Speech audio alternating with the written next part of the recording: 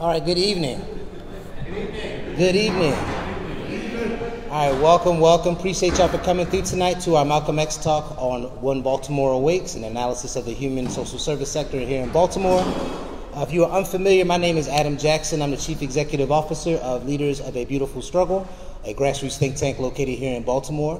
Uh, if you're familiar with LBS, uh, we do political advocacy and public policy interests of black people here in Baltimore City. Uh, founded in 2010. Uh, actually, next year will be our 10 year anniversary, come next August. So we've been around 10 years almost. So, a brief explanation uh, before I get into what's going to happen uh, tonight. I just want to explain something real quick. Uh, if you already have a copy of our paper, appreciate you for getting it. The reason why we ask for donations for the paper is because uh, they cost money to print. We want to make sure we give them out to community for free, uh, but they cost money, like the real kind of money, like 75 pages in full color kind of money. So if you want to donate, that'd be awesome, besides what you're buying them tonight. Uh, also, you can become a sustainer for Leaders of a Beautiful Struggle. Uh, that means that you give money on a monthly basis to sustain our organization. Uh, part of our point, even in this paper, is figuring out how to make uh, black institutions more viable uh, without depending on the uh, white white institutions to do that for us in the form of grants and other things. And so LBS, one of the things we pride ourselves on is that uh, sustainers, people in community who give monthly, are the people who are the lifeblood of our organization that make sure we can cover all the necessary expenses to go to Annapolis, to do political advocacy, and all the other work that we do here in Baltimore. Uh, so if you want to sign up to be a sustainer, you can see myself or Candace over here at the table tonight. And uh, please support LBS because we do a lot of political work, and your direct support uh, supports us. Like PBS, viewers like you support LBS. It's kind of vibe. Uh, so, uh, so in terms of tonight, uh, so tonight uh, we're going to be talking about the paper when Baltimore awakes. so we intentionally called it a black paper because you know most you know nonprofits or you know think tanks produce white papers, and white papers give you information. but the purpose of a black paper, the reason why we called it a black paper is because the purpose is to use it as a weapon, as a spear, to go into the nonprofit and philanthropic sector to advocate for our community and to have the arguments, analysis, research to do so. And so this is not just something we decided to do because we thought it was a thing to do. You know, we've been making this argument uh, since we've been around, uh, since our beginning. And so we thought it was just essential uh, that we have a comprehensive document that explained our position and to give other people and other, other organizations, other institutions the power to actually transform those institutions or to make our own institutions and to build for self. So, uh, so I'm gonna stop talking. I'm gonna invite Dayvon Love, the author of the paper, and the way it's going to happen tonight is that we're going to have a few minutes of uh, Dayvon talking about the paper, and afterwards we'll have a Q&A. So it'll be more discussion based tonight. But I'll, bring, I'll welcome up Dayvon, our director of uh, public policy, to get us started.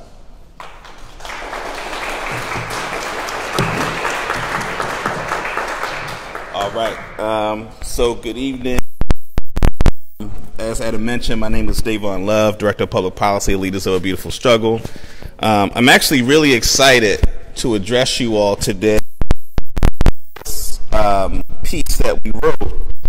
Uh, as Adam mentioned, this is a an argument we've been making since our existence.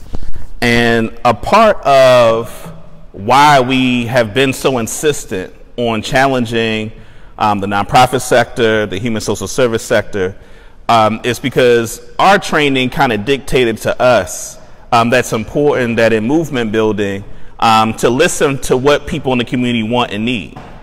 And so as we began to just volunteer and just do work in the community that wasn't necessarily political, but just building relationships, one of the themes that was a recurring theme was the fact that not only were there not enough resources for folks to do the work they want to do, um, but that oftentimes there were folks outside of our communities dictating what it is that we need to do. Um, and so that was a really recurring theme of the conversations that I've been having with folks, particularly elders, many of which who've been pushed out of the human social service sector because of their attempts to actually do right by our community. And so we kind of dedicated intellectual energy into figuring out how to produce an argument um, and a comprehensive set of information and research such that people had the tools they need to articulate this dynamic in a way that would allow folks, as Adam mentioned, um, to weaponize it in service of our community. So, um, so what I want to do, I'm going to just um, talk generally about the context of the paper. I'm going to talk about some of the sections in the paper, And as Adam mentioned, I mostly just want to engage you all. I'm actually really interested to hear people's feedback, people's thoughts, um, you know, points of disagreement, um, and also just other general thoughts that people have about what we produced. So I'm really looking forward to that. Um, all right. The human social service sector tracks billions of dollars in the hands of professionals um, who are credentialed by institutions that are not of and from our community. So many of the major institutions that are tasked with socializing youth and tasked with providing services to black people, um, the professional credentials involved in um, putting someone in a position of authority um, is based in institutions that they themselves have a fundamental disregard for the humanity of black people, right? So whether, but have not versed themselves in the history and culture of our communities and neighborhoods. And so not only is that a problem in terms of the perspective, but as I mentioned, billions of dollars are tracked into the human social service sector. So not only are people who are under any reasonable criteria not qualified to lead our community put in positions to do so, but there are billions of dollars that buttress their ability to institutionalize their influence. And so, as I mentioned earlier about listening to the things that folks were saying in the community were general challenges that people had in terms of doing work in the community, it was the lack of resources, but also having to contend with people who are empowered by this society as leaders, as exemplars, as professionals, to have to struggle against them to do the work that folks know is important to do in the community. Um, and so, we've been making this, we, we kind of started off with the critique of the nonprofit industrial complex. And so, you know, and, and just as a, as a general critique of the political economy of the nonprofit sector, in a Democratic dominated state, um, Democratic Party dominated city, where everyone's supposed to be liberals, one of the questions we had is why is it that Baltimore still has many of the same problems that you see um, in Republican districts and jurisdictions? And so we kind of came across this idea of the nonprofit industrial complex as a way to help to answer that question, right? That there was a certain way in which liberals and so-called progressives were themselves perpetuating racism and white supremacy, um, while at the same time professing to be our allies and professing to be people who are sympathetic. Um, and it's actually a very difficult moral position to take in certain public spaces um, because those who are understood to be trying to help us um,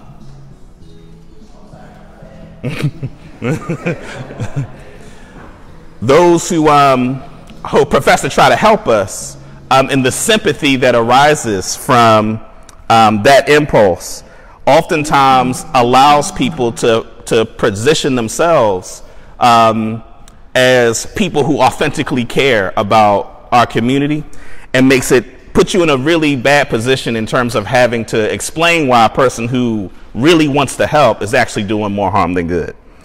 Um, so that's just the kind of general context. So we wanted to write something that gave people the tools necessary that in that context, they would have the weaponry necessary to participate, participate in that conversation from a position of strength and having the intellectual backing necessary um, to navigate those dynamics. All right, so why use the title When Baltimore Awakes? So it's actually a play off of Hubert Henry Harrison's 1920 When Africa Awakes. So Hubert Henry Harrison was a prominent scholar in the New Negro movement. Um, he actually was a contemporary of Marcus Garvey. Um, J.A. Rogers referred to him as the Black Socrates. Um, he was a prolific scholar in the tradition of Pan Africanism. And When Africa Awakes was actually his critique of the labor and socialist movement. So at the time, the Communist Party, socialist movement, the labor movement saw the issue facing black people as a way to buttress their global political interests and ideology. And so folks like Garvey and Hubert Henry Harrison were militating against the attempt to essentially use black suffering to operationalize their intellectual and political enterprise. And so when Africa Awakes, there's a criticism in 1920 of the way in which white liberals were attempting um, to use black suffering as fertile ground for exploitation.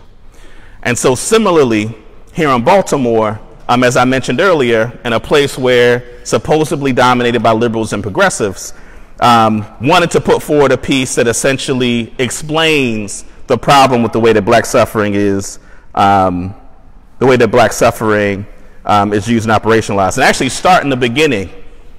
And it was a very impactful quote because it explains something I mentioned in the beginning of the paper. Um, Hubert Henry Harrison's other work, Negro in the Nation, um, when he describes the shift from chattel slavery to, um, to after emancipation was a shift in slavery being maintained by brute force and after enslavement being changed to, to slavery by starvation. And so the plantation metaphor for me is really important because the human social service sector serves as an appendage of that plantation, um, as, as, as, as, the, as the political economy of the plantation. So the use of starvation. I've had lots of conversations with people in the human social service sector who have said some version of, I would want to do this, but I will get fired if I do it. Right?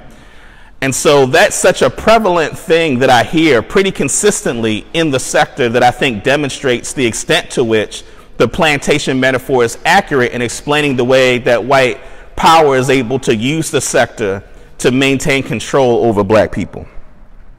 Um, so, so the relationship to when Africa awakes, I'm hoping to have a similar impact um, with this piece. All right, so what I'm going to do is I'm going to go through each of the sections and just kind of give highlights of each of the sections and then just invite you all to discussion. Um, so the first one, white supremacy. If you're here, you probably understand a little something about the system of white supremacy. So I won't go into too much detail, but I'll spend time on two particular points. The first is it's important to, to recognize the impact of the invisibility of white supremacy. Because I think while one can develop an analysis, part of the way that white supremacy perpetuates itself is the way in which it's rendered invisible in popular spaces. And so it being rendered invisible, what it does is that it then it makes it harder to render legitimate in mainstream spaces the critique of racism and white supremacy, right? And it, it has a certain concealing effect um, that makes it difficult to call it out. And it actually creates this dynamic where it requires a tremendous amount of analytical precision to be able to explain the way in which white supremacy is operating when this tactic of its invisibility is deployed. Um, and, and so that bleeds into the second highlight that I want to describe, which is that as a result of that level, level of analytical precision, in conjunction with the fact that there's again um, the sympathies that folks show for our community being weaponized against these critiques. What tends to happen is that those of us that talk about white supremacy as a system are often targeted within institutions. And in the paper, I give an example of a woman who was a teacher in New York City when they were doing um, diversity trainings, and she called out, you know, they were okay with racism. But once you start talking about white supremacy, it implicated systems in ways that made um, the leadership of that, of that school district feel uncomfortable. Um, and so I think, in addition to just generally understanding what white supremacy is, one of the ways that, it, uh, that it's operationalized is that it characterizes those of us that militate against white supremacy as angry, um, as mean, um, as disruptive, um, in ways that allow people to deflect from the actual criticism. And LBS actually gets this a lot. And I mentioned that a little bit in the piece, that there, and, and it particularly happens in like backroom spaces where you get people in meetings with philanthropy that'll tell people LBS doesn't work with white people or LBS hates white people. And a lot of times the people who are saying that know that it's not true, but they understand the powerful propaganda weapon it is against forcing people to confront the substance of the argument. And, and we very rarely get folks who oppose our position to, in public, raise a legitimate argument against what we've put forward. So this tactic of characterizing us as just angry or mean or hating white people is one of those diversionary tactics so that people don't have to confront the actual substance of the argument. So the section on, on black pathology. So in my preparation in writing this, I went back because I had seen the Boys of Baraka documentary before, but it was but this was probably like 10 years ago when I saw it. Um, and so I, I, was like, you know, I need to go back and watch it just to get a sense of um, how accurate my, my remembering of it was. And so, so this is probably back in June or July when I went to watch it. And I, and so I rewatched it again and I was really disturbed. I was disturbed by the fact that it was so widely recognized and heralded. Um, you know, you had Martin O'Malley's wife um, do a screening at Charles Theater, um, kind of hailing this documentary as something that was revelatory. Um, and so when you actually watch it, I mean, and even from the very beginning, and I don't, I don't talk about this in the paper, but even, or maybe I did, but even in the very beginning, where it opens up and you have black kids in East Baltimore pretending to arrest each other and shoot at each other.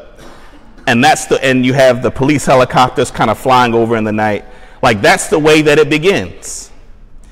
And and so even when it just started, I remember thinking to myself, this is probably going to be every bit as bad as I, as I remember it being.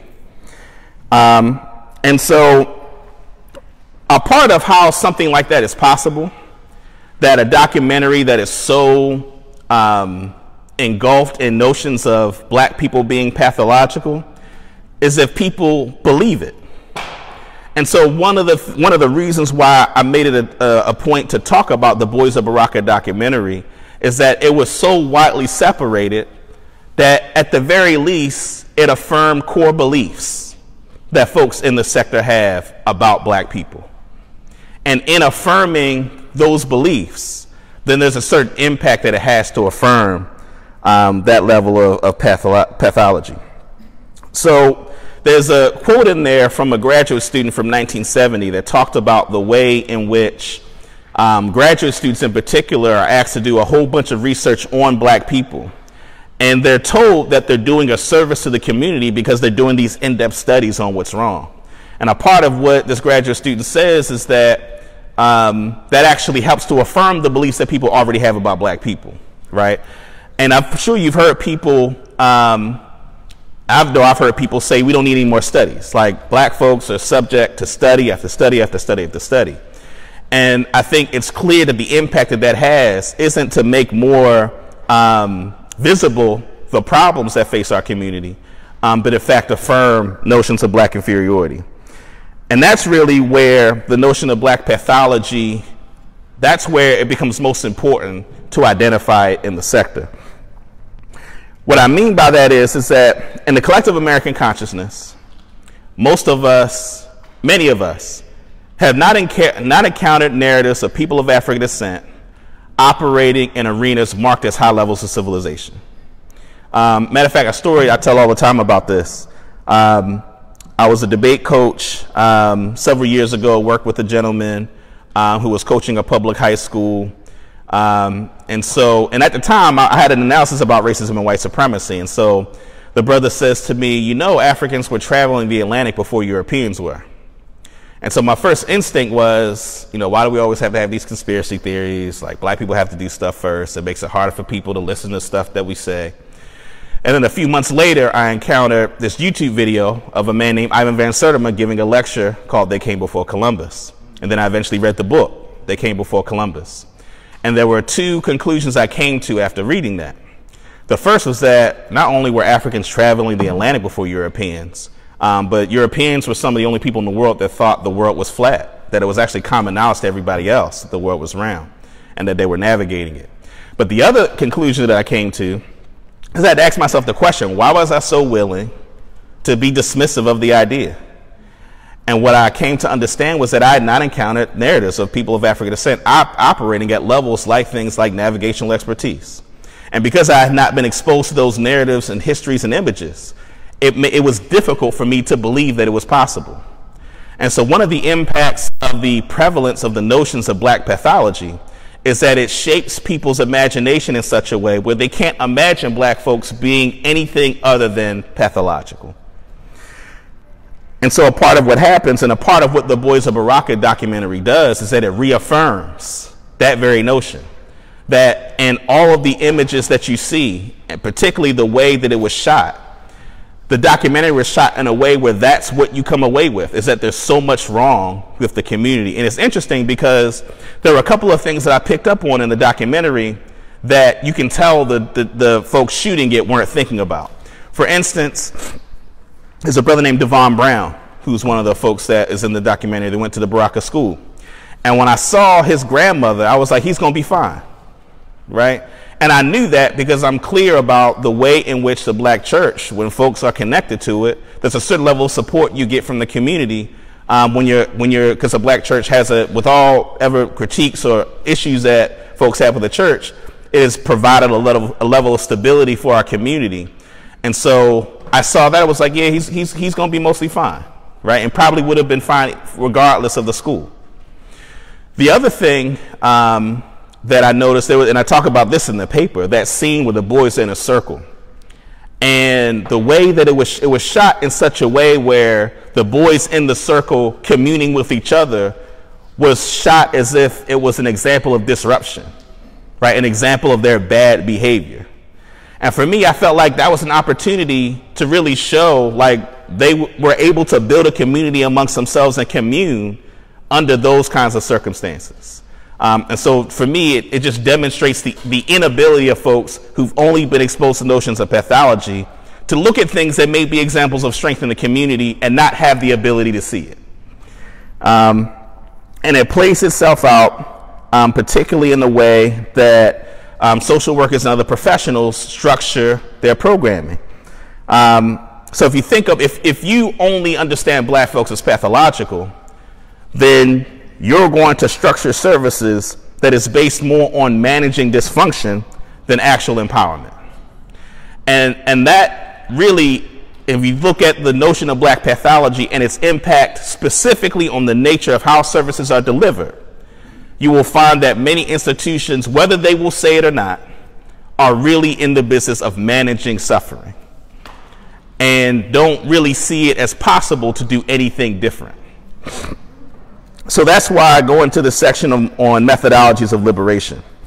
Um, so, because black pathology makes people see folks of African descent primarily through the lens of being a problem, there are ways in which the methodologies of service themselves perpetuate notions of white supremacy.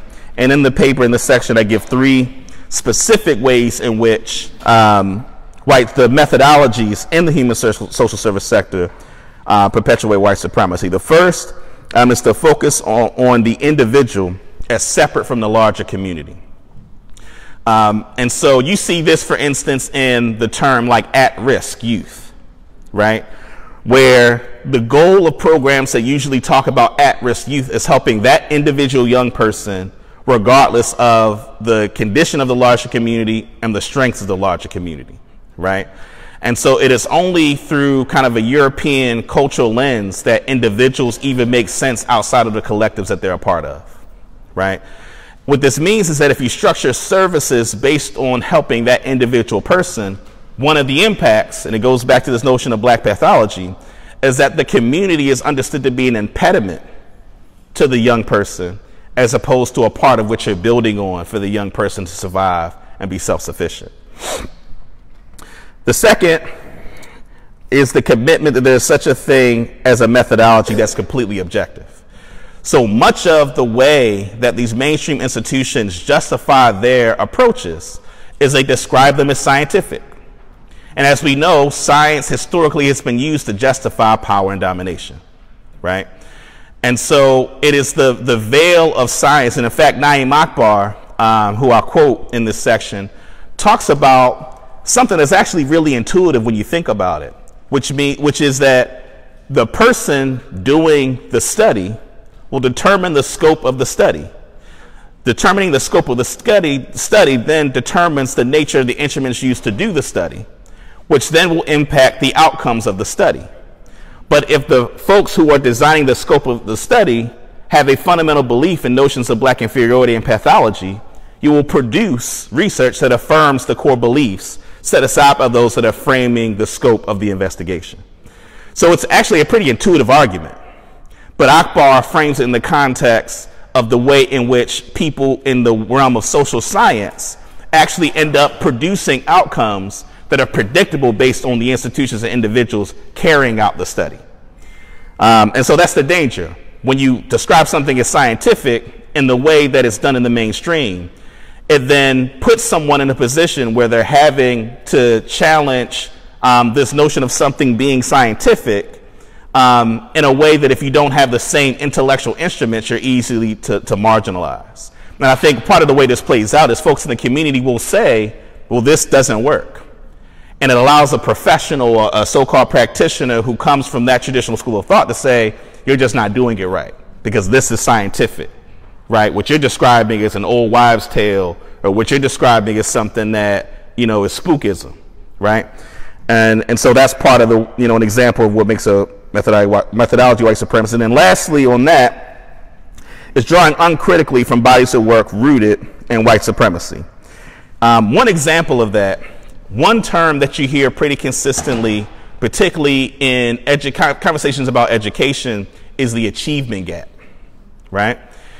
And so it's an honest thought to think black folks and the metrics used to determine success are behind um, our white counterparts.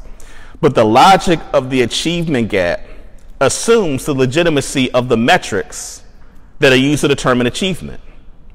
If we step outside of the metrics that are traditionally handed down for a second and just merely think about what it means for the underground economy and the networks and the science that it takes to operationalize those networks, right? That's a level of achievement in terms of using your intellect and operationalizing a system that folks create, right? Now, unfortunately, that's not something that you can take a test for, right?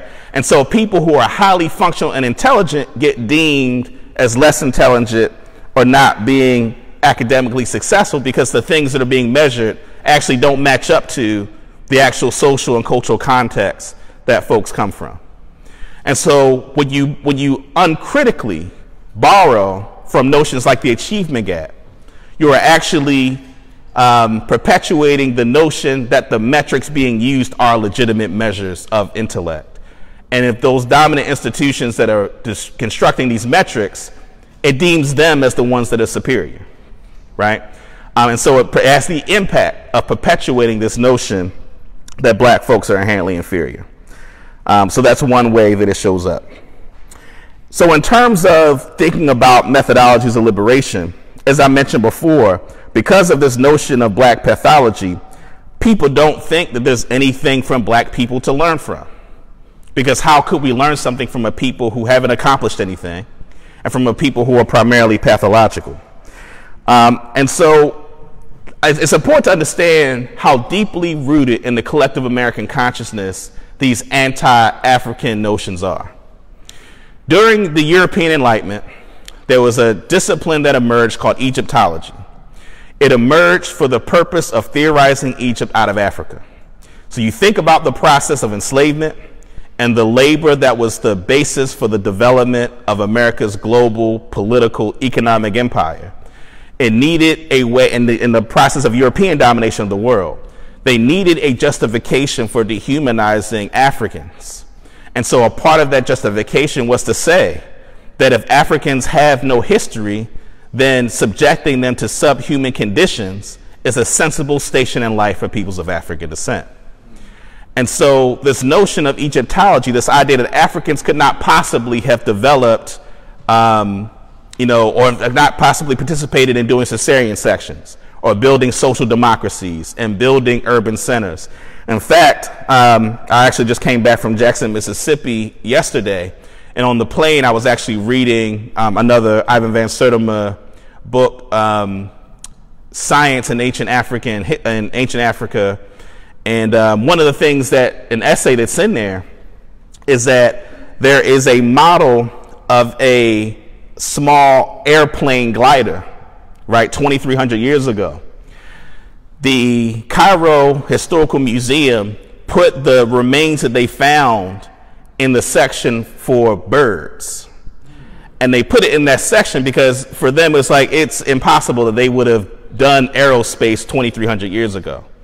And so it took um, an archaeologist who happened to be looking and was like, that's obviously not a bird, right?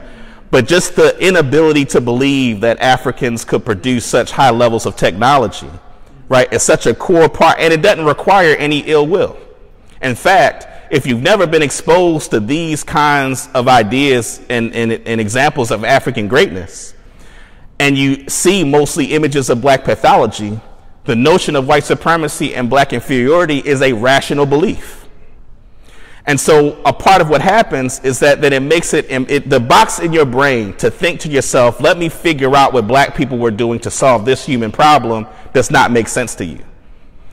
Um, and so that's why understanding the way in which anti-African notions are embedded in our collective consciousness is so important because then there are methodologies that we could be drawing from that could help us address these problems that we just don't have a box in our brain to tell us to, to, to endeavor to do that. And in fact, um, in Joanne, and Dr. Joanne and Elmer Martin's book, um, The Black Experience in Social Work, um, they actually talk about the challenge that confronted early social workers in the early 20th century. And they argue that throughout the 19th and early 20th century, um, black folks, particularly during the Great Migration, had developed um, the, what they call the black helping tradition. So dealing with trauma and grief um, and all the things that came with being black in America. And they argue that early social workers, instead of studying what black folks had done to deal with the issues and struggles that black folks had dealt with, they chose to embrace the kind of bourgeois ideals of the social work profession as the basis for their practice and study. And they argue that it is that decision as to why these industries have produced ineffectual tools for social change.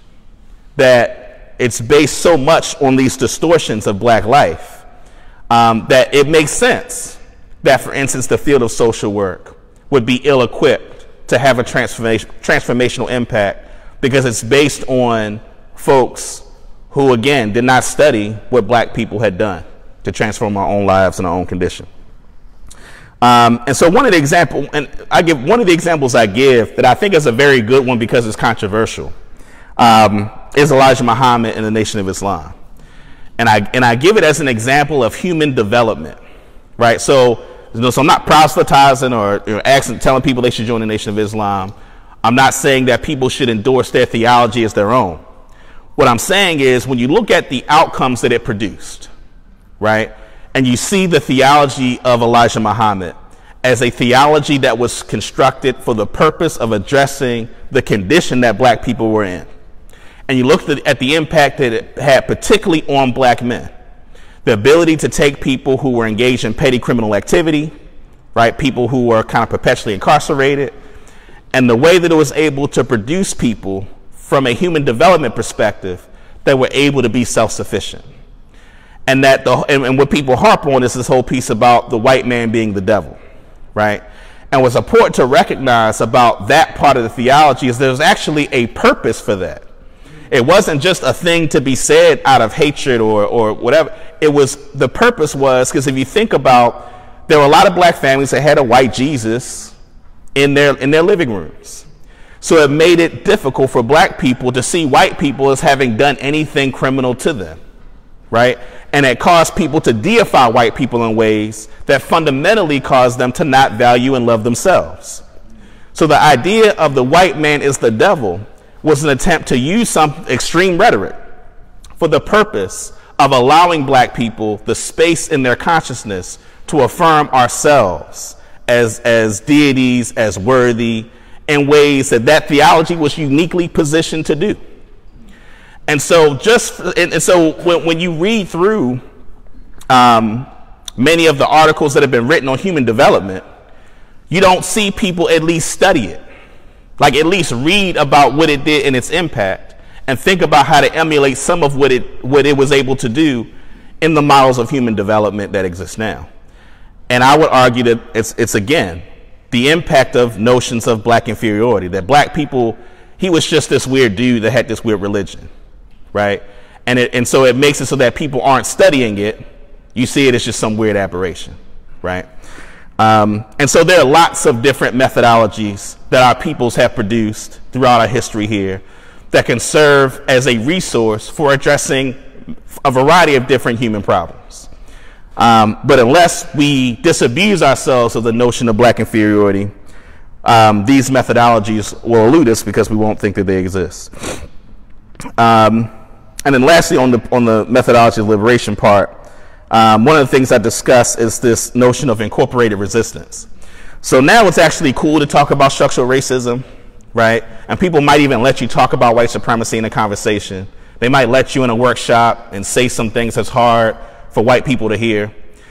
But a part of what happens is that, um, and Dr. Greg Carr, who's the chair of Afro American Studies at Howard, um, in his lecture in 98 on the life of John Henrik Clarke, he describes incorporated resistance um, by saying, you can talk all that black stuff, just come to work tomorrow, right?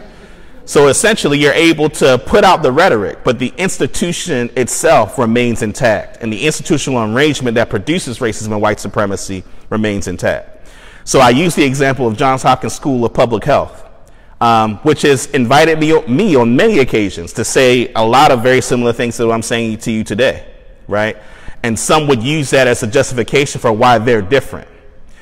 But you still have the university that has not paid its debt to the fact that it's made billions of dollars off of the sales of Henrietta Lacks. It hasn't, you know, it, it gentrified East Baltimore, displaces so many black folks, and has not paid for that. Um, and continues to benefit from being in Baltimore and it, the medical experimentation that it's done in the past. And so the institutional arrangement remains intact, right? And so sometimes people get confused that your ability to speak it, to say it in a meeting or at a panel, equates to actually changing the institutional arrangement. And white folks have gotten very sophisticated in incorporating black folks that are okay with just being invited to stuff and being able to talk very radical, as opposed to making demands on the actual institutional arrangement to change. So the last um, section, the confrontation piece. Um, the confrontation, and so it's interesting because we actually talked about whether to call this section confrontation because of what I described at the very beginning. Like, you know, oh, here goes LBS being confrontational. And so as a result of that, that's why, that's why for me, the importance of the UNESCO conference in 1974 in Cairo is so important. Because at the UNESCO conference in 1974, there was a convening of Egyptologists all around the world. And two of those Egyptologists were Cheikh Anta Diop and Theophile Obenga. And everybody who came to this conference knew that the purpose of it was to, um, for once and for all, settle the dispute as to what the racial designation of the ancient Egyptians were. And if you read the notes, if you read the minutes of the UNESCO 1974 conference, it is made clear that Diop and Obianga embarrassed the other scholars who continued to make this argument the Egyptians were not African people, right? And it wasn't just the knowledge of history that allowed them to win this confrontation. Diop actually had a degree, a master's in um, physics. And so he actually helped to used other sciences. He, used, he, he helped to develop the melanin dosage test, right, in order to help um, develop the age of the um, remains of the ancient Egyptians. So he used multidisciplinary sciences in beating back Egyptologists who, for the most part, were not scientists of any kind. And so it was as a result of that conference that even though you may still hear, hear people say it, in many even mainstream academic spaces, the notion of the ancient Egyptians not being African people is something that there's a lot of ammunition to fight back against. And that actually helped lay some of the foundation for African centered scholarship um, to be more prevalent um, than it was prior to that. Um, and so for me, the importance of that conference is that's essentially what we're hoping to do with this. Is to engage in a similar kind of confrontation with the institutions of the status quo, using rigorous study and analysis in order to fundamentally be able to walk away from the conversation with it being settled that over that white folks have failed in their endeavor to try to fix black people. You know, after um, the civil rights movement, um, there was a move away from institutions that socialized our people being led by black people to the human social service sector taking up the responsibilities that were once black people doing ourselves.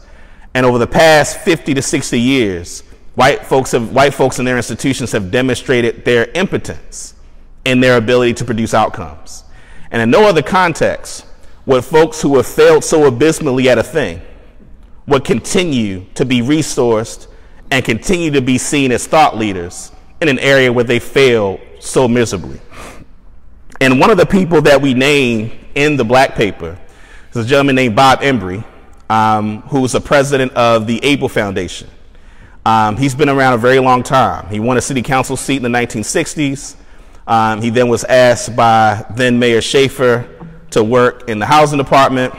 He then went on to work for the Carter administration as a deputy commissioner for housing. And then he came, he did a few things, came back to Baltimore and was became the president. He thought about running for mayor in 87, decided against it, and then decided um, that he would run the Abell Foundation.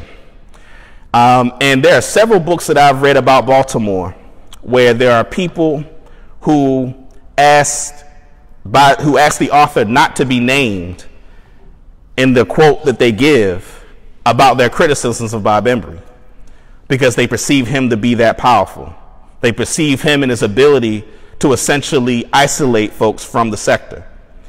Um, and I've heard people tell stories about the fact that he saw himself as this kingmaker that has that level of control over institutions that socialize black people. As a person who actually, at one point, he was the chair of the school board, the Baltimore City School Board.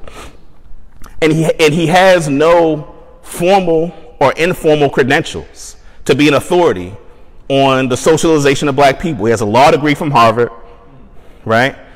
And so that's as much as he knows about anything as it relates to our community, right? He, he is not demi. Now, he knows a lot about some of the data, the data that points to notions of pathology. So he may be able to tell you the unemployment rate, right? Or the number of vacant houses in Baltimore or, you know, some of the data on public safety. But in terms of talking comprehensively about black people or history or culture, or methodologies, or institutions, he's not qualified to be in a position as a thought leader. And that's not being said for the purpose of not liking him personally. I don't know him very much personally. And in fact, I had a conversation with him in his office, I think it was either 2013 or 2014, where I raised some of these points. And he was rather hospitable about it. We were clear that we didn't agree, right? And so this isn't out of any personal animus towards him as an individual. But it's like anything else. If you're not qualified to do it, it doesn't make sense for you to be in thought leadership. And it's not aggressive or mean or anything else to make that statement. And I would argue with the human social service sector, there are lots of people like Bob Embry who are in positions of thought leadership who are not qualified to be there and are never asked publicly to substantiate why they're qualified to be there. In fact, you have a lot of people in the human social service sector who are in positions of leadership who I would argue are not only not qualified, but I wouldn't want them anywhere near children, right? But they're allowed to be there because there are not mechanisms of public accountability such that they can be taken down, right? And that, and so a part of where I end at um, with the paper um, is both the acknowledgement of the failure of the thought leadership that's currently in the status quo, but also about the importance of black people ourselves outside of the, the scope of the sector, developing who we want to designate as thought leaders in particular industries in the human social service sector so that the billions of resources that are tracked into that sector can be put to good use and can be put to helping to build solutions to our problems that are not mired in the notion of black folks having to be dependent on people outside of our community. And so the confrontation has to be such that we have to be able to put forward folks. And there are lots of people in our community who could serve as those thought leaders, but are just not given the opportunity to serve in those roles with the level of freedom necessary. And so we're actually going to do an LBS is going to do an event in 2020. Um, we're going to partner with uh, Shauna Murray Brown of Kindred Wellness and Jamie Wooten of Collectively. Um, and we're actually going to host a conversation that's specifically for black people for the purpose of thinking about and answering this question um, who are those who should be designated as thought leaders for black people in the human social service sector and begin to strategize about how we put them in place, how we replace Bob Embry um, and others like him with people who actually make sense to be those who have tremendous authority over where those dollars go. Um, so those are the highlights. So any any questions, comments, thoughts?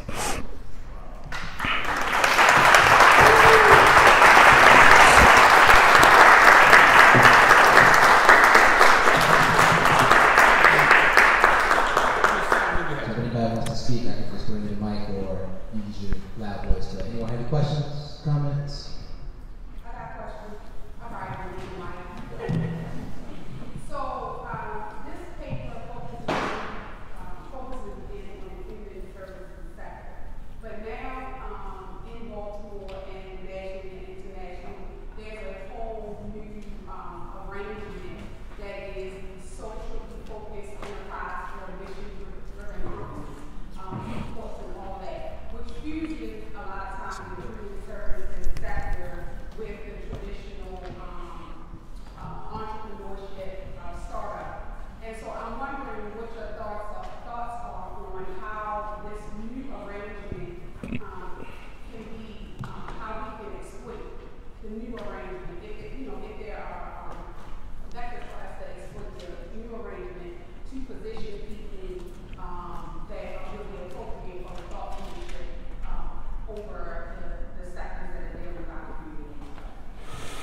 Um, so um, you're right. There there is an emergence of things like social impact bonds, um, the idea of social the double bottom line, you know, social good and profit, and the fact that they're not necessarily mutually exclusive. And so there's a greater interest in investing in social good from an entrepreneurial perspective. Um, there are two thoughts that I have about that that are related to what we talked about, what I've talked about tonight. The first is that it's important that we have an analysis of who is in position to curate which kinds of efforts are able to get access to the capital and to the platform.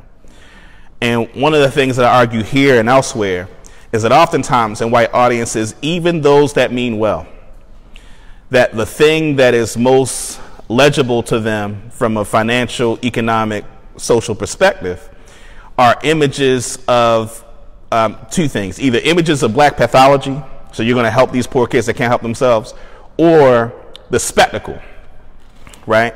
Um, so we actually saw a lot of that, like with the um, uprisings around the country and you know police involved shootings. You have um, the the focus on the spectacle of protest and um, as opposed to dealing with like the nuances and the structure and all that stuff. So I say that to say that on one hand, I think, given the enormous amount of capital and where that capital is coming from, I think it's important that we don't take that on as a strategy that's going to substantially shift power and resources. I think there are individual people that may be able to get relationships to get access to some of that capital. But for me, I don't think it should be something that becomes a strategy that we think will get us greater levels of capital. And then the other thing that I feel about that is a, a part of the issue with social impact. See, I feel like black people as a subject matter are a thing that pe- black pe- that people generally feel like they don't have to know anything to have an authoritative opinion on, right? Whereas with anything else, you would have to know something to talk about it. And so a part of my concern is with notions of social impact is that you have people who are really corporate folks who are in a position to be thinking about social good. Um, and I would argue that those who are immersed in our culture and traditions and literature um, would be suspicious of the way in which this kind of social impact industry is being rolled out because I think a part of what it does is it invites a bunch of people with opinions that don't know anything about our community um, to have a platform to really move stuff. And I think it's important as we see gentrification taking off around the country, once it's taken off, it's real hard to pull back. And so for me, that's one of the things that I would be concerned about is once it becomes something that we endorse as a community, once it starts going in a direction that we don't want it to go in, I would be concerned about our inability to pull it back. Any questions?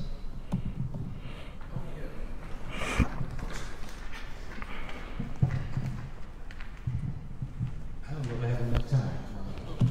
How you doing, Big Ron? How you doing? Brilliant. Thank you. Credit to LBS for you all's analysis, but you know, in a private conversation that I had with you, the real challenge, in my opinion, 2019, is the computation on two levels. That's, that definitely needs to be a computation with the managers of white supremacists, no doubt. But there needs to be a computation with those of us who look like us. And I'm just not certain, because I have been here before, and I don't mean to bring that to the forefront, but those of us who have lived long enough, we have heard this from Asa Hilliard, Na'im Akbar, all the brilliant people you quoted in your publication. Brilliant, and I thank you all for having the courage to bring forth a 2019 analysis and in a local analysis of what it has been in Baltimore, what I refer to as an air conditioned hell that black folks have been living in. And there's ways that you can basically construct an air conditioned hell to make it seem as though it's not air conditioned and it's not hell. So here we are in 2019. Here's my, my, my questions. Um, basically, I would say my questions is directed at the confrontation from within. Mm-hmm. And I know you all want to do a, um, a session sometime 2020 that will bring black folks together to have that conversation. But to what end and how will we evidence that this time around that the confrontation has really taken place and that something more than just an ongoing analysis is going to be the end product? Mhm. That's, that's one question. Mm-hmm. The other question that I have has to do with the quantification, quantification, quantification of the damage that white supremacy has had on the black community. Do it within a ten-year time frame, a fifteen-year time frame. What is the cost that entrenched poverty has had on the black community? Mhm. What is the cost that incarcerating thousands of black men for tens of years over and over again, what does that cost? To take men, black men in particular, out of the community for 10, 15, 20 years for petty crimes, some- some crimes, of course, serious crimes, but for petty crimes, and the loss of wages. And I'm not saying that you all should have to do that, but that should be provided. Mhm. And maybe educational institutions in the area might be able to assist in that effort, but would that pro- pro- provide a compelling argument this time around that something truly needs to happen in Baltimore City this time around that will move the needle, and so that we are basically not having this discussion 10 or 20 years from now. Last point is how do we evidence all this? I don't know what the metrics will be this time around to see in five years, 10 years, that because of this publication, something significantly changed this time. So again, that we're not here talking about the same stuff Mm-hmm. in 2040, 2030, because we did something today. And whatever I can do to support that effort, I am all in. And I hope you all know that. Yes, sir. And I praise you all for this work. Uh, and I hope that we will continue as a community, especially my community, to basically make something happen that has not happened in the past 30 years I've been doing this work. Yes, sir. Um, so I'll take them in order. So, um, and you're right. Um, one of the things that we um, are very clear about is that we're not the first people to say the things we're saying. And a part of the extensive research that is in the paper is evidence of that. Um, and there's so much other stuff that I could have put in and just, you know, didn't want to, you know, overdo it. Um, I mean, you can go back even as far as 1852 when Martin Delany um, is criticizing the Liberator, which is the former formal organ of the abolitionist movement, for the fact that of all their offices around the country, they only have three black people employed, right? It's 1852, right? Um, so for us, we don't, and in the publication, we don't see ourselves as saying anything that hasn't been said before, but applying it to the contemporary context. The thing that I think is different, and you know, we've been studying a lot for the purpose of becoming more clear of our analysis. What we think is different is that many of our elders and scholars have been making these arguments in the context of the industries that they work in. And, and there are certain limitations to that because, one, if you're an education scholar and advocate, that should be what you do. But there's a political side to it. And unfortunately, given the relationship that black folks have with the class of elected officials, um, there hasn't been the ability to form a political thrust in terms of addressing these problems. And so, a part of LBS being a think tank and a politi- an explicitly political organization, we're LLC, right? So, um, we have a lot of freedom in terms of what we're able to do and say, and we spend a lot of time um, in City Hall and in the legislature for the purpose of being able to use the levers of the legislature and to try to organize um, the political power that is that there's potential to have um, to try to make some of these things happen. So, so what we think is different, building on what has been done in the past, is LBS being an explicitly political organization, combining political power and using that as leverage to change these industries in ways that benefit our community. Unfortunately, when I, particularly when I think about the information that our black elected officials get from the institutions that they're, you know, who advocate for black people. And this is no disrespect necessarily to the organizations about the name, but like criminal justice, they're usually interfacing with the ACLU, right? If you're talking about children, it's usually advocates for children and youth, you know, or um, other, you know, and these are organizations that we've partnered with, right? But those are the kinds of institutions that elected officials are getting most of their information about our community from, right? They're not necessarily getting it from the Asa Hilliards, the Na'im Akbars, um, because there, again, is not the political apparatus developed for the purpose of making that synergy. And in fact, it is our limited experience that when you go before black elected officials who I think in many cases, a lot, a lot of our people are confused, and that includes elected officials. But when you put before them something different than what's been happening, they see it, particularly in their own self interest, as being able to claim that they're doing something different. And so our hope, and again, this is, this is, what, this is what we think is different, and, and we work to try to get clear on our analysis, um, is that using politics to leverage these different industries, and even starting with the human social service sector, which is you know, unmistakably a sector that caters to black people, we think it, there's a very salient political argument to make to say that at the very least black people should control it. Now, in terms of how we do it, I think that's where the internal conversation comes from, and that's it bleeds into your second question, which is you know in this convening that we that I discussed earlier, you know how to make sure because there are, and I mentioned this in the paper, there are black people that internalize white supremacy, racism, black inferiority, and do things that perpetuate racism and white supremacy. Um, and I think we have the benefit of the time to observe the ways in which, you know, Hilliard and Dr. Martin and others to observe how their approaches and methodologies are more effective than those that are provided by our white counterparts. So I think we just have the benefit of time that allows us to be more precise in our conversations with each other about which methodologies are acceptable and effective in our community. Um, because I think, particularly in my in, in reading some of the debates that were had um, about what the best way forward is, I, will give an example that actually came across recently. There's a sister named Mo, Monet Ming Francis. She wrote an article about movement capture, this notion she calls movement capture. And she, she essentially studied the minutes of the board meetings of the NAACP in the 1920s, 30s, and 40s. And what she, what she figured out is that because in the early 1900s, the NAACP was doing advocacy on anti lynching. And then there was a shift to doing work on education desegregation work. And so she was trying to figure out where that shift happened.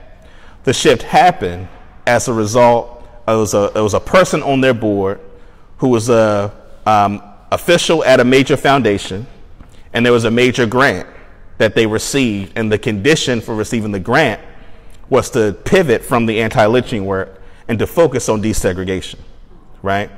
And so having enough time pass to be able to look back at some of those formations because I think there's still some of our people that'll say things like, you know, we can't totally, you know, have independence. We got to include them in some way, shape, or form. And I think there's enough evidence over the past 50 to 60 years and beyond to, to suggest that we need autonomous institutions and we need methodologies that aren't rooted in the methodologies of the status quo. Um, and so that's going to be a big part of how we even frame the conversation and discussion is to say that we have to come with information about the nature of our methodologies and bring forth evidence of the efficacy of those particular methodologies. And as I ended my talk, one of the things that I, that I think is important to say repeatedly is that those methodologies produced by white institutions are an abysmal failure. Like they're not even like a little bit wrong, right? They're, they're an abysmal failure. And when you study the things that black folks have done, in spite of the challenges, that the evidence is that those methodologies are more effective. And so we hope that in that convening, in that conversation, that'll be the basis by which um, we hold each other accountable to say you need to come with evidence as to how this has been effective for black people. And we just believe the evidence will bear itself out. And then the last thing, the question about the metrics for the impact of this publication. Um, that that I, I, hadn't thought I, we haven't thought about that comprehensively, and a part of actually we were interested in is folks' feedback about how to track and measure that. Like we were actually kind of surprised that so many people had already read the report um, and were interested in dialogue about it. Um, we just kind of figured it would be a part of our 2020 promotion plan, and the fact that so many people came and have showed interest um, we're really interested in people helping us determine what are the ways that we should um, decide how the impact is measured.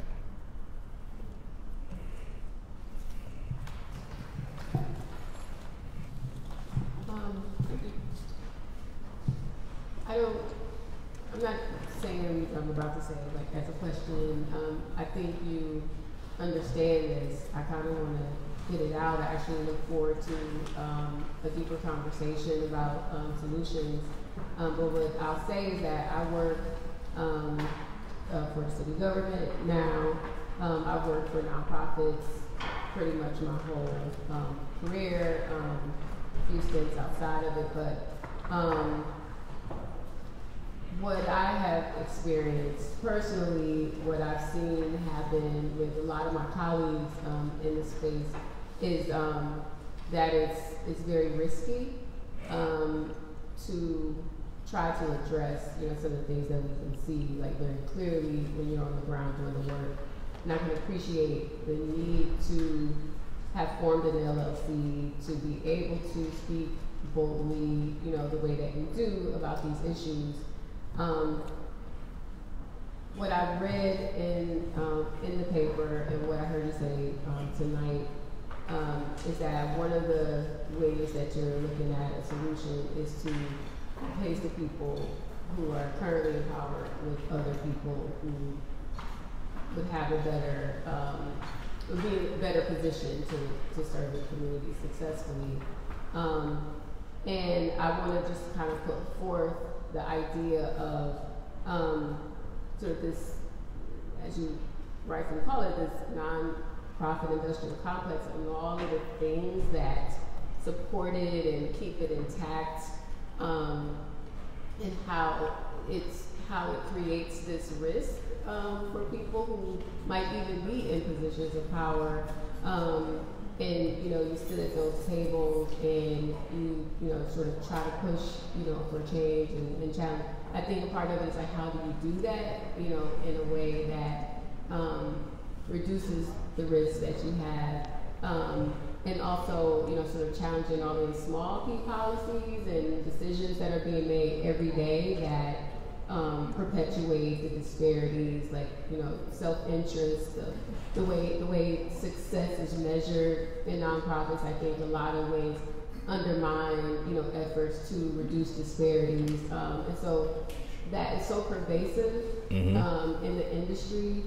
And so I'd be interested in having more conversation around how even as you get people in power, you know, who can, you know, be better positioned to do this work, how how you deal with sort of the pervasiveness of you know white supremacy in this industry and um, protect those people you know in those positions from retaliation um, in all the different ways that it is possible to be retaliated against um, and bringing people from within the sector. Um, I know I've personally wanted a space like this to be able to strategize and to talk about, you know, what I experience and what so many of my colleagues experience. Um, so I, I just like to put that forward. If you have Mm-hmm. reactions to Yep. that, like I definitely would love to hear what you have to say. Yep. I want to put that forward too as a call. Yep. So just two quick things. One is that we intend on the event that I mentioned earlier to be a space for that. Um, and it, for us, we see the work as being a part of an ecosystem. And I think it's important that we begin to see ourselves in, in being parts of an ecosystem where you may not be the person to say the thing, right? Maybe you say to us, hey, this thing is happening. Go look over here. We need you to make a big deal about it.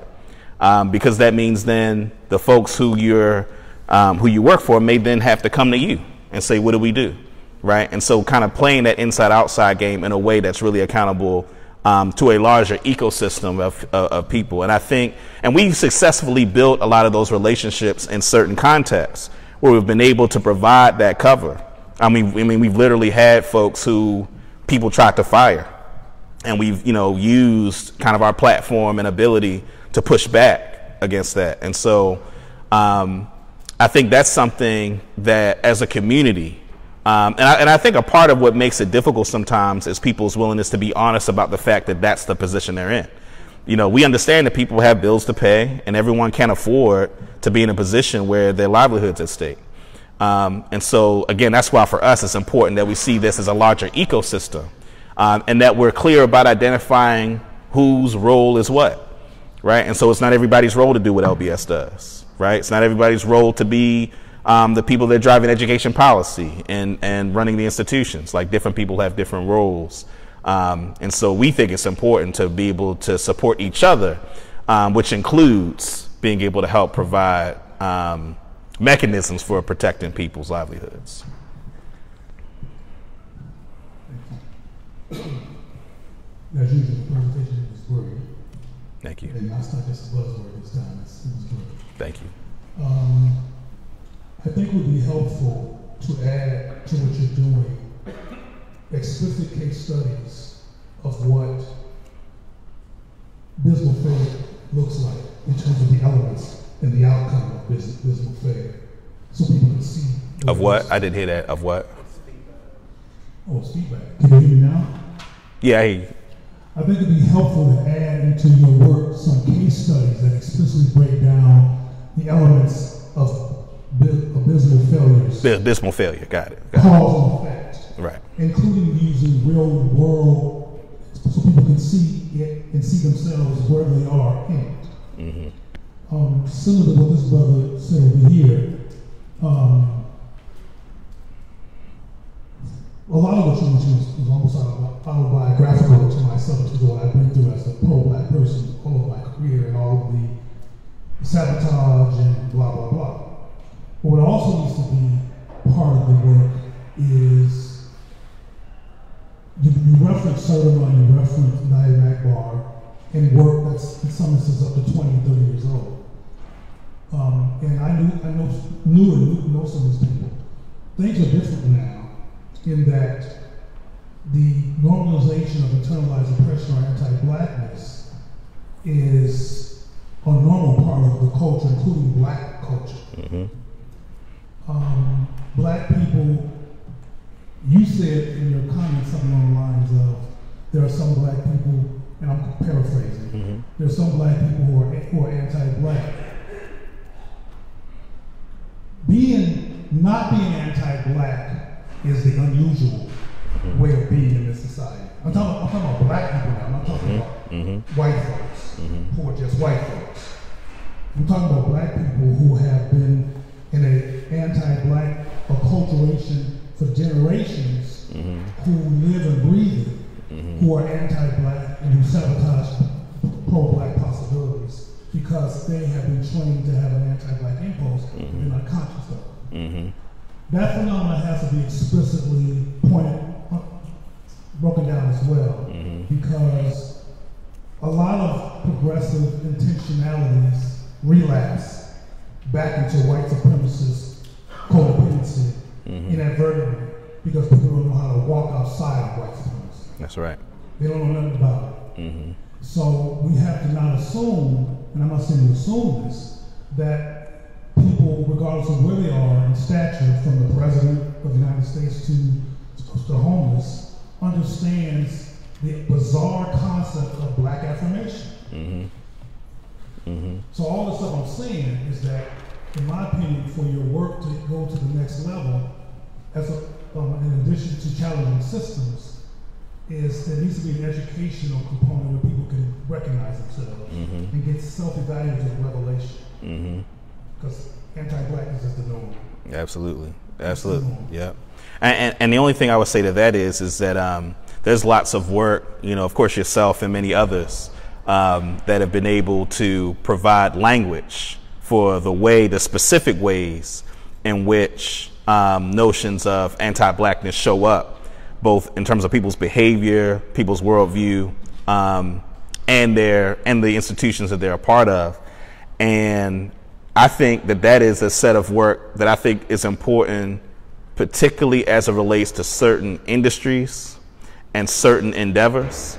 And the reason I say that is because, like, to your point, there's so much of our consciousness that's rooted in it that I think it's everybody's kind of personal responsibility to do the study and work to like disabuse yourself of it. And then when I think about like the short term, like people who, you know, maybe they, you know, just finished graduate school, they're about to jump into their profession, and then some somewhere along the line they they it hits them, right? But they're in the world right now, like working with young people or working with folks in our community. Um, I think, and it's and it's and this is kind of beyond our particular capacity but in terms of wanting to work with other people and thinking about in particular industries or particular areas of work, how do we build and create literature for people who are in those lines of work that may not fully grasp it yet, but have a at least like some kind of toolkit that will help them in their endeavor to be to get as deep as they need to go. Um, and again, that's one of those things that's beyond our individual capacity, but we'll certainly be willing to work with folks in building something like that.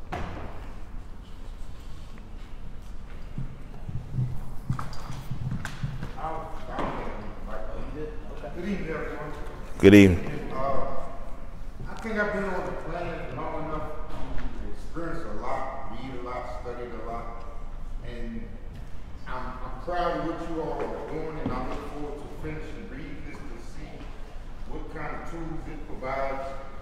But I'm kind of, you might say, bitter or worn out in the fact that I see white supremacy, racism, the whole system of things in the context of what you stated as is invisible mm-hmm. in a way that, like you said, a person can say, okay, we're going to give you this grant money and we've studied you and we've done this and we've done that and we're going to implement this program without getting any expertise from you.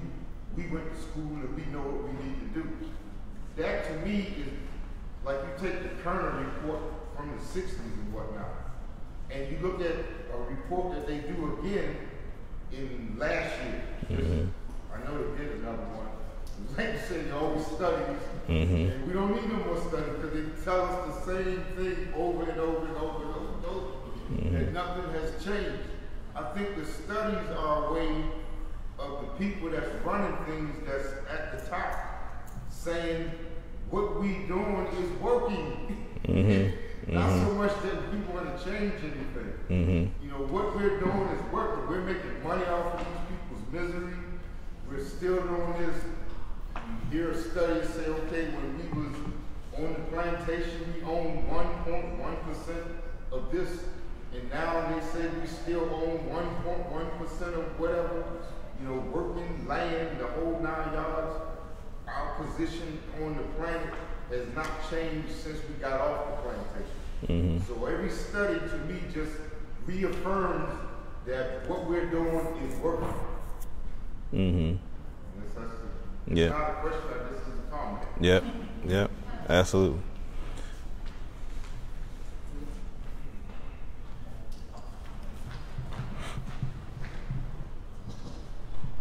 Good evening. Good evening. First of all, I'm, I'm struck by, um, it, it doesn't matter where you are in relation to what one call Western societies. It's the same underlying common or problem wherever you are. Um, and I wanted to talk about practice kind of question or practice. Uh, in terms of working in the industry, being a clinician, and working, you know, child protection and stuff like that. So, it's interesting, I'm from London. That's what my career is in time. And it's really interesting about, um, I want to talk to the pernicious nature that you're talking about in relation to uh, scientific evidence. So now we've got this whole kind of, the last 10 years, evidence-based, evidence-based, evidence-based. And it's really interesting how they use evidence-based to silence our, you know, ways of working. So if it's not evidence-based, you can't prove it. Then you can't, you know, use it. And one of the things that can never read evidence is about engagement and about how you engage the clients or how you engage the community. And marketing, who does better at engaging the community is not, if you want to put a racial lens, is the black workers. Mm-hmm. Depending on what community it is. In Baltimore here, the black workers significantly, significantly get better engagement with the participants than their white counterparts. And why is it? Because how do you evaluate or how do you look at it? How do you engage engagement and how do you form relationships? So if you don't have a relationship with people, the only time you see these people is when you're going to work.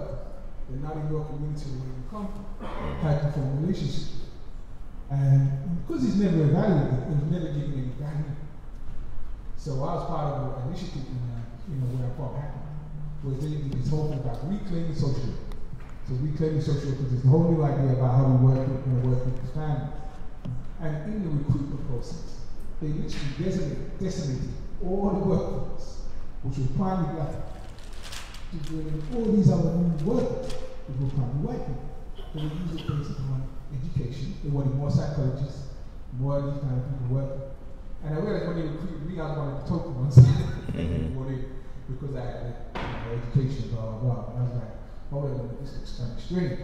And then you had literally you had this rock because you had all the people that were working there. They were trying to give them, you know, redundancies, you know, that were there before. Because they were literally doing this whole movement to get this completely change the workforce.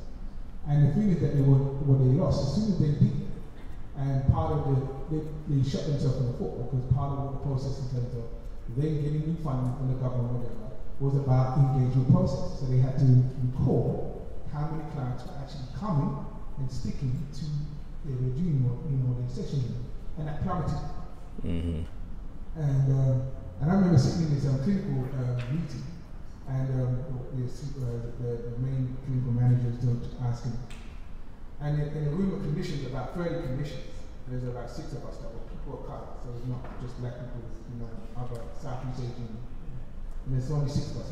And the, the person had the audacity to sit there and ask us, we're not engaging the black clients, or we're not engaging the clients. Can anybody give it? I'm handing out post-it notes. Can you give us some ideas as to why? so I sat there and I looked at it and I said, and excuse my language, and I, I you know, sometimes I can't stop myself from speaking. I said, are you fucking joking? and I got up and walked out. So I just said, you need to answer that question, I'm not going to answer that question. Mm-hmm. Because I'm, I was one of the clinicians, anytime they had difficult clients, they would come and ask me, can you come in and help the coach facilitate the session? Mm-hmm. Simply because you can't form a relationship with this person. So, and you can't evaluate that. Mm-hmm. You can't. There's no way they could evaluate how to form this relationship. But that's what they use. They say it's evidence based. They got people that can fill out forms. They sit there and ask you a series of questions in evidence forms. And then, uh, and that's how they make their assessment around. Um, but they don't form a relationship with us. It's easy to go for a textbook. So I just wanted to say that this is what how they use it and how they kind of use it in practice. And how it worked out. Any more questions? Comments?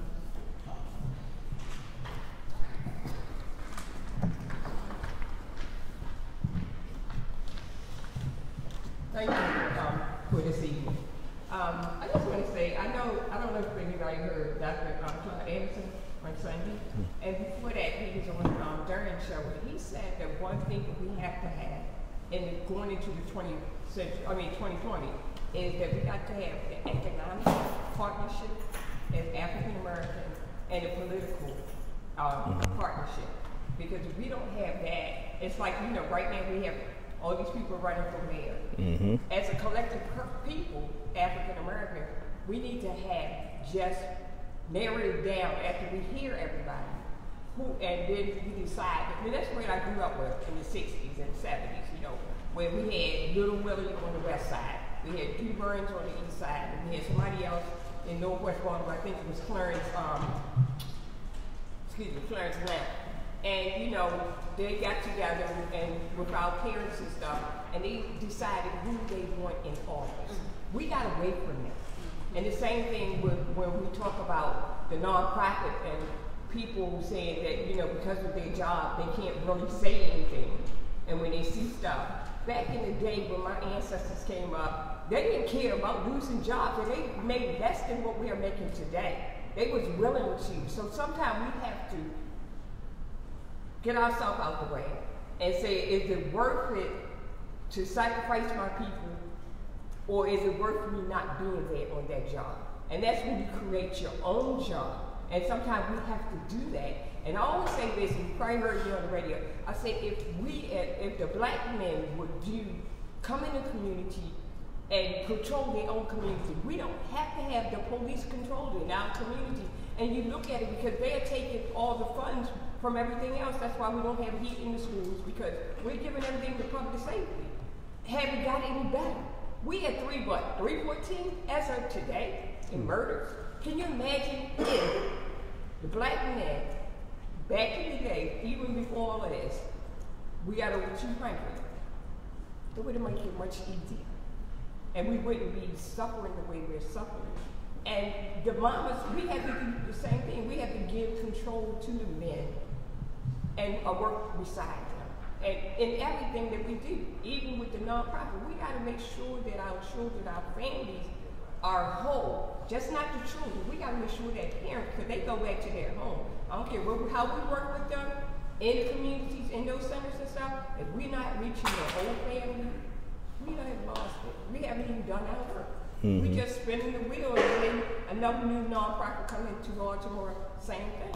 And then we wonder why we got all the murdering in the street, all the blood in the street, because we are not doing our job as African American people. We have to assimilate amongst ourselves and then come out in the open. Yep. And I think one of the couple of things I want to say about that I think are important. Um, the first is that our decision to focus on the human social service sector was thinking about what chunk, both of resources and control, can we address, right? Because we know we can't, you know, we can't do it all, right? As you know, so it's like what chunk, what sector, and the reason that we pick that particular sector is because it's the sector that primarily serves our community in real direct ways, right?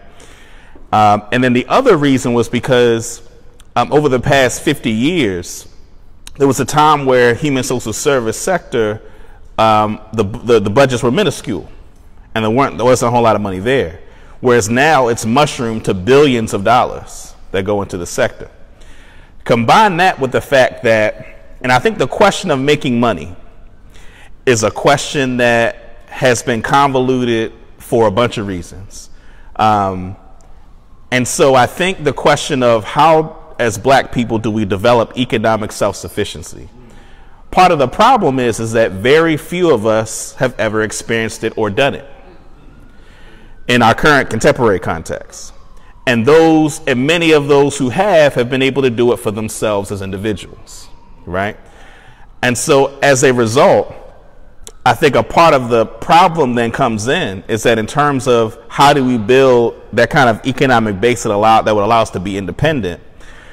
For me, this sector is one piece of the solution to that problem, which is how do we redirect billions of dollars that otherwise go to people who suck at what they do and invest it in some of those brothers you're talking about, right? So those brothers can make a living patrolling their community in ways that's much more humane and accountable to the community. So it's a part of why we focus on that particular sector.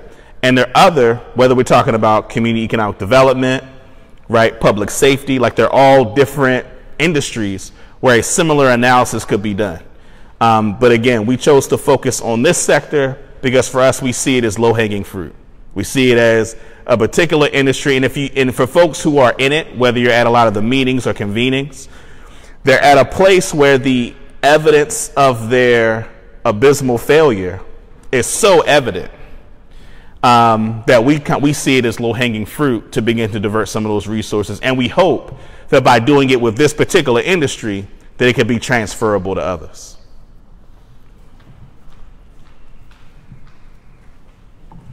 I just want to say something, two things actually, quickly, and going back to your talk about the abysmal failure. And I have been doing research for years, um, and I actually have researched internationally as well. In fact, I just got to Baltimore, so I can't speak so much about Baltimore. But what I'm beginning to realize and ask actually is, is the point for it to be abysmal failure? Mm-hmm. I mean, there, and it just doesn't apply to the struggles of African American populations. You know, as I, one thing I've noticed mostly about Baltimore, homelessness. Sometimes I think we fix these problems, but I just sometimes think they, they don't want to. So, and it, it, it goes across the environment with a lot of different things. Um, and I really can't remember, oh, I know what I wanted to say. Um, in the case of African Americans, isn't it always the case that African Americans have done it for themselves? If you look at the people say that Lincoln was the great emancipator, but in reality, it's African Americans who freed themselves, Mm-hmm. pulled themselves through Reconstruction, led the civil rights, and whatever movement we look at, it's been African Americans who've organized and done it themselves. And I think that is what you're doing. You're continuing that fight of Mhm. doing it yourself because they're not going to solve their problems. I don't. No problem. I, I don't think they want to. Right. I, I don't think that's the plan, and that's after doing years of research and you know keep talking about the same thing. And and and fr- some friends of mine were talking about this, and I just don't think we just don't think it's in their Mhm. plan to help. Let's say disenfranchised populations. Right. Disenfranchised populations mean that other populations are enfranchised. Mhm. And and if you don't have disenfranchised population, then you're not going to have that enfranchised population. Absolutely. And and the political aspect, and it goes to what the Baba earlier mentioned about this being a part of the plan. The political dimension to it is that those who are in positions of thought leadership in public would never admit that. And it is that that gives them the cover to continue to operate these institutions. I, I, I believe, now I've not been there, but I believe that amongst themselves, they're, they're very clear that they don't have any intention on the conditions changing very much, if at all, right? But in public, they have all different kinds of faces they put on to say they do that. And unfortunately, not enough people understand that they don't mean it. And so I think a part of the political dimension to it is to be able to build enough of a political thrust to put them in a position to have to answer for all they've done and either force them to say that they never meant to do it or force them in a position where they're defending the abysmal failure. In both cases, I think it puts us in a position to begin the process of putting folks and positioning them in the industry in such a way, positioning different people in such a way to direct these resources to stuff um, that'll actually have an impact. Hi, uh, I'm Lawrence Grandpre, Director of Research. Um, two quick points because I want to demonstrate what we're hoping part of this talk is to do is show you an examples of how you can actually make these arguments, and then they run into questions for you. So first, the abysmal failure. I believe you can show it with contemporary evidence, but you need to prevent them from blaming black people for that failure mm-hmm. and actually believe that. So one strong example of this is drug treatment. Many of you would be surprised to know that what's seen as best practices now, narcotic anonymous 12 step, was invented by a white dude in the 30s and has no strong empirical evidence base behind it that works. What it actually has done to a lot of people is it's focused on basically, you know, internalizing your sense of hopelessness. It's very detrimental for a lot of black people. But it's still seen as the best practice. So when people drop out of 12 step, they're saying, oh, they weren't ready for treatment. They want they hadn't hit bottom yet. When it's really the Eurocentric framework of 12 step, which leads them to failure and sometimes leads to play over and die. So that's a very concrete, strong failure of a dominant best practice without labeling the. Right, so along those lines, secondly, you can prove the value of a culturally competent framework. Um, but unfortunately, it is a little bit hard. Ideally, we have HBCUs that can help us do all this research, but because of their limitations on funding and internalized anti-blackness, it's not always there. But again, the strong example of what Dayvon said, the Nation of Islam. The best science right now is that though we've been taught to think of addiction strictly a brain disease, it's in many ways the disease human disconnection.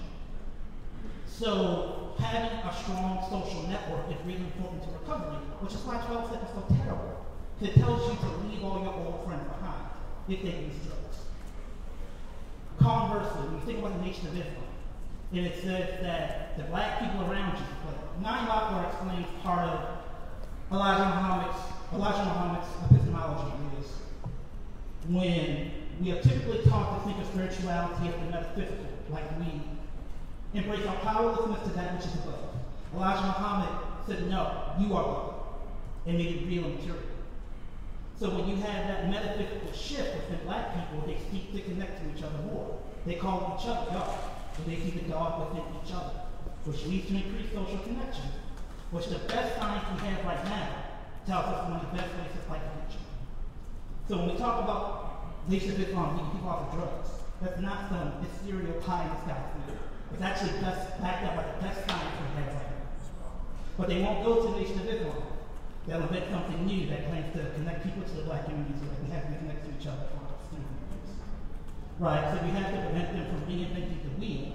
And you have to tell them we have our own wheel, we're going to beat you which is fund us to allow us to do Which is leads to my question. That's why I'm partially I'm so concerned about this 2020 election in the way that people are being seduced by the idea of what we really need is more funding.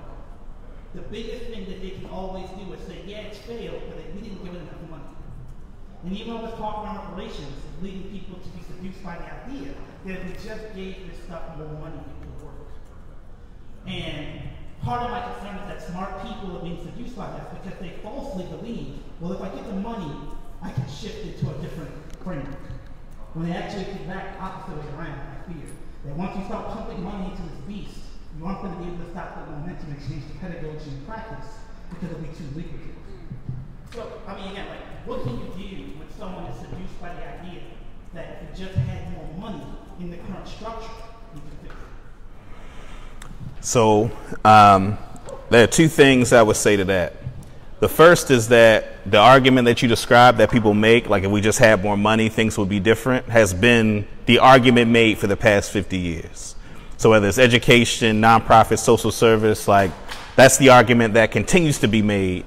And the evidence, as you say, continues to demonstrate it doesn't work. The second thing that I want to say to that, and I think it, it and this is an important point conceptually, which is that the, the institutional arrangement is just as important as what you invest in it. And what I mean by that is, is that unfortunately, a part of what we internalize in American culture is a very exploitative relationship to human beings, right? And so what that means is that people are only valuable to the extent that they serve your own individual self-interest. And when you structure institutions that way, then the very nature of those institutions will be exploitative to the population um, that they're supposed to serve. So, for instance, when you think about most nonprofit organizations, the people who work for them are actually they're not accountable to the community; they're accountable to a board of directors, a board of directors that is normally squarely placed in the corporate sector. And so, we have to build institutional arrangements that facilitate collective decision making and accountability so that those investments are not investments in individual gatekeepers or investments in people that are curated by white institutions as our leaders, but create institutional formations that facilitate collective decision making and collective empowerment. And so this was actually a debate that happened particularly in the late 60s um, when Nixon um, essentially tried to appropriate black power to talk about black capitalism and empowering a few individual black millionaires, right? And so, you know, the point that Lawrence makes about this idea of giving money being a good thing by itself, part of the problem is, and actually, if you study the Kerner Commission, the Baba mentioned earlier, when they did from 1968 to 1988, one of the things that they found was that the black middle class increased about 15 to 20 percent but the masses, but everyone else um, of black folks were poorer in 1988 than in 1968. So that there is evidence that just adding money to the community only helps a select few, but actually does a disadvantage to the masses of black folks. And so, I, so it's important that we think creatively about how to structure institutions differently, um, so that we're not just doing black versions of what white people do, right? But we're building institutions that are actually modeled after frameworks and cultures um, that are different from um, that are different from the ones that exist in our current society. And, and I guess the other thing I'll say to that, because I think it's really important, I have not seen a lot of studies, particularly in mainstream circles, of folks that have studied human organization or social organization, particularly in ancient African civilizations, and particularly in black formations outside of the gaze of, of Western civilization.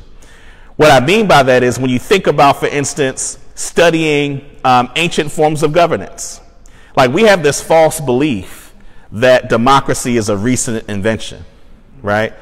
And, and so there's this narrative that America was kind of the birthplace of this idea of democracy being practiced, and they were escaping these monarchies, um, and that that was the nature of how governance existed in the past. And in fact, when you study um, the Nile Valley civilizations, and aspects of uh, Central African and West African civilizations, you see form, you see very complex and very effective forms of human organization that are different than the ones that exist here. In fact, one of the things I've been actually reading about over the past month or so, the so-called founding fathers, supposedly out of this kind of divine ordinance, developed this um, constitution that had mechanisms of democracy the world had never seen. Now, it actually doesn't make sense to believe that folks that escaped these monarchies would out of the sky be able to develop these notions of, of democracy.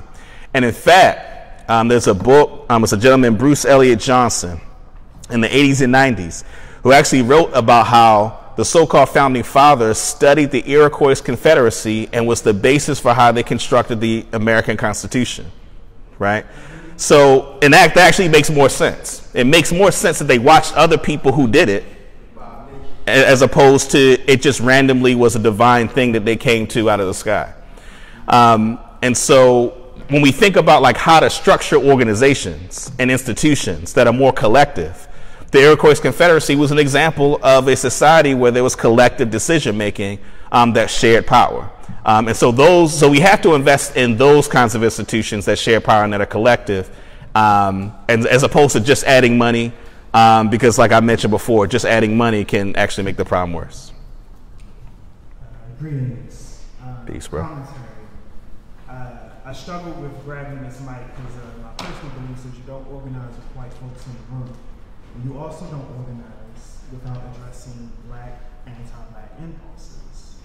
Um, Hello. Yeah.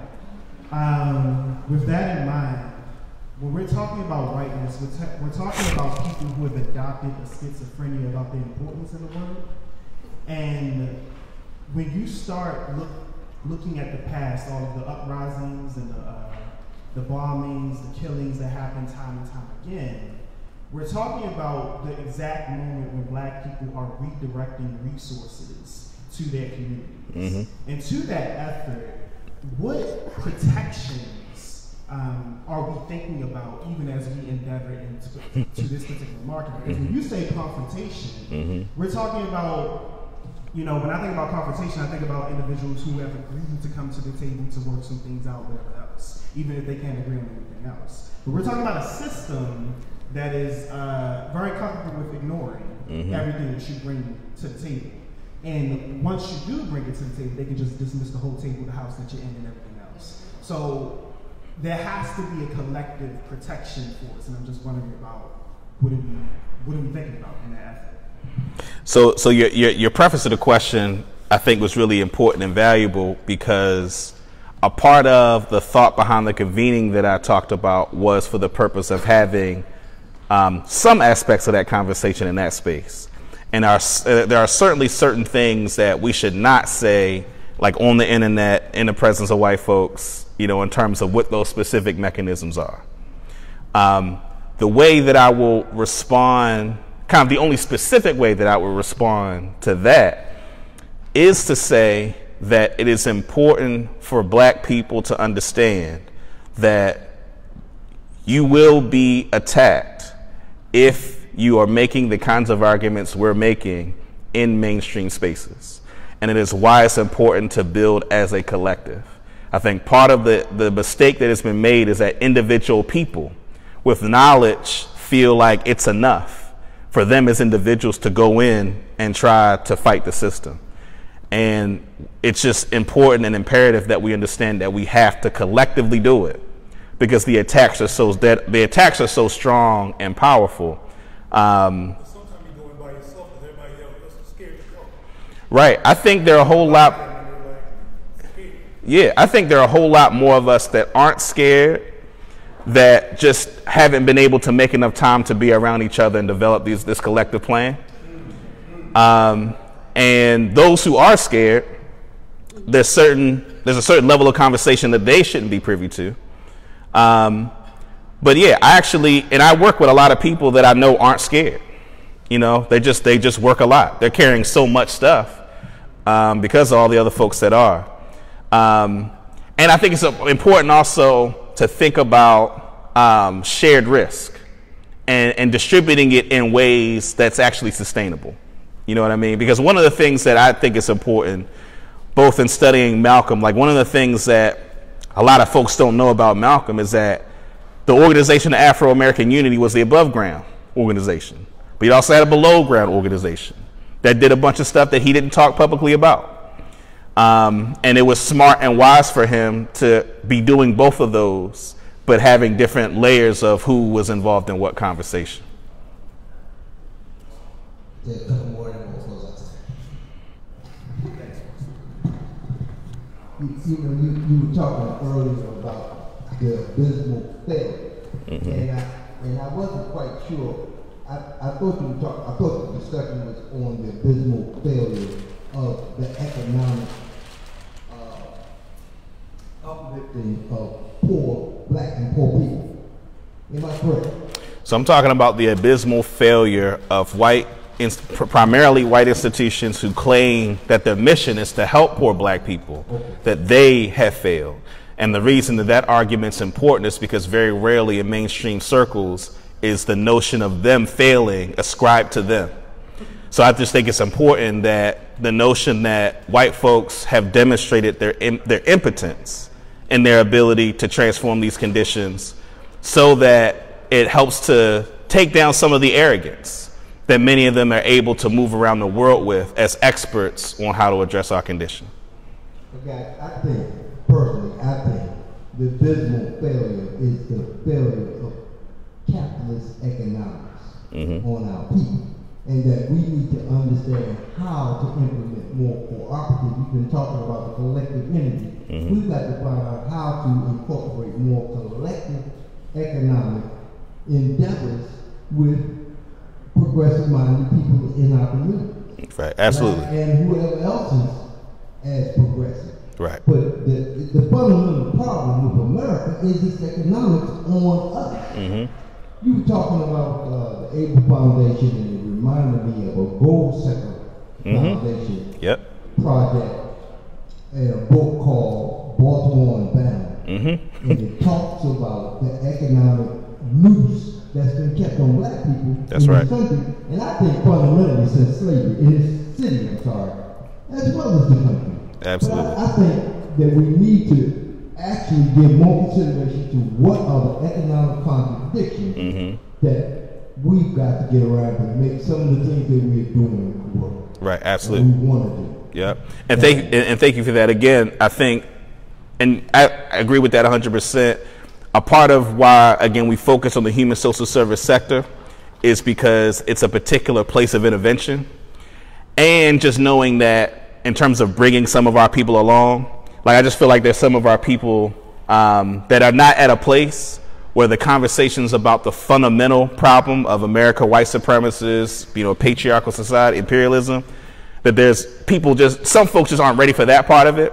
But if we can demonstrate in their particular line of work how those dynamics operate. I think it helps us build the bridge for them to come to that conclusion, which is kind of the overall system being problematic. Because I think a part of what we, a part of what folks struggle with, like I'm from Baltimore, graduated from Forest Park High School, I went to Towson University, and some of the black people that I encountered, a lot of the stuff that we would say, like created an identity quake for a lot of them, because they were socialized, and, and when they look at the kind of immediate world that they live in, you know, capitalism, white supremacy, all that stuff works for them, right?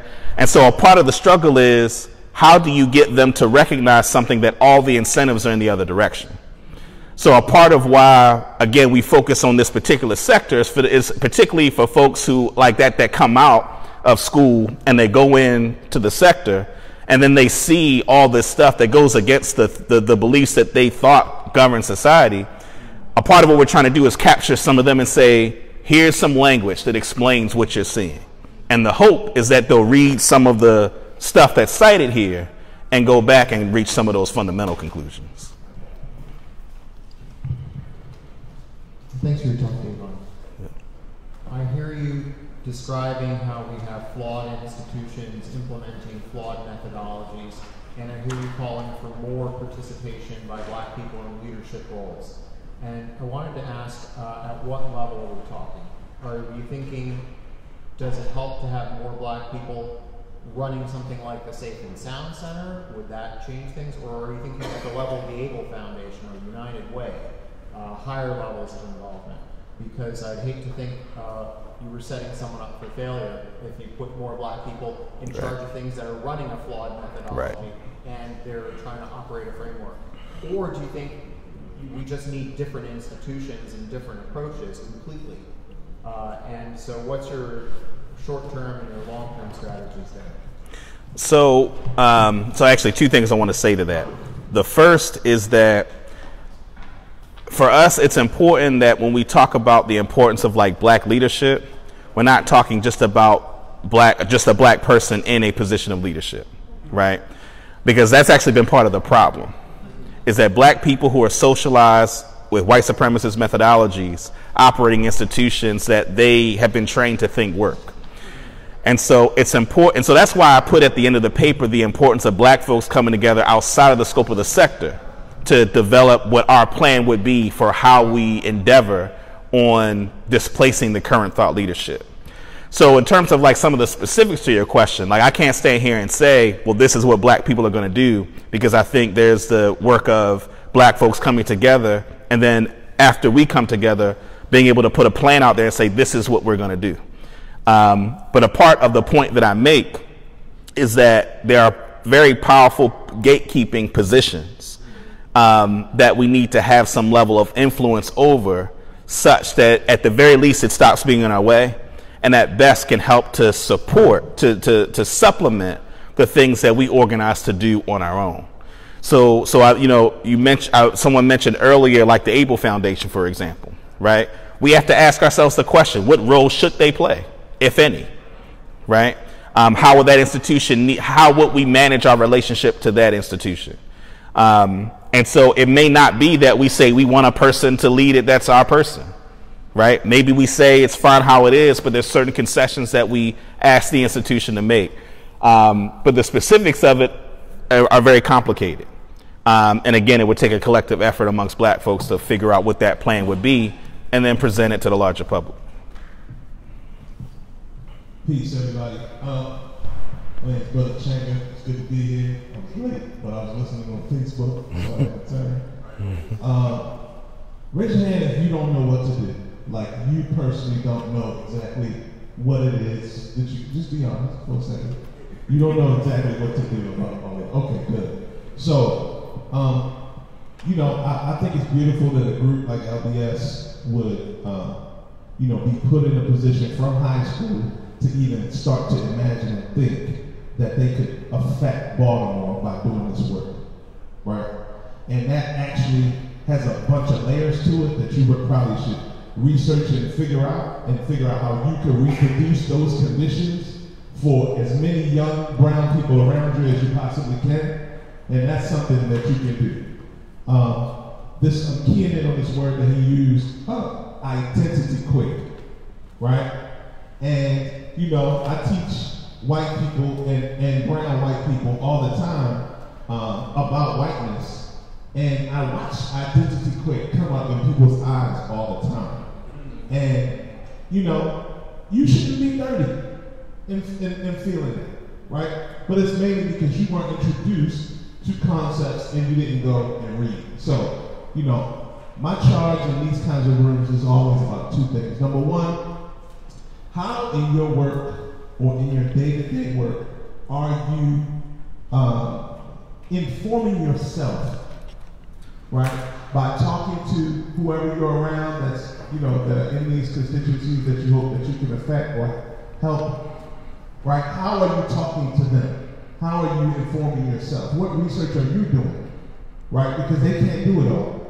That's one. Number two, um, you know, especially for my brown folk in the room that are doing good work, and then my uh, so-called white people who are, are trying to do the best work they can. Um, you know, we talked, we had this conversation, I said I was listening on Facebook, we, this, this conversation about money comes in often. It's not about having money, it's about what money. Where does that money come from and what comes with it? And so I'm always asking people, especially in the epicenter of black discretionary capital. I'm always asking, what part of your work and your fundraising is to create that trust that will allow those dollars to flow to you so that you can use them unabashedly for these pro-black causes. So those are my, that's my two additions. Thank you. Yeah, yeah thank you. Thank you, Jenga. So we're going to close down right now. We're at 8 o'clock. Just give Dayvon another uh, round of applause for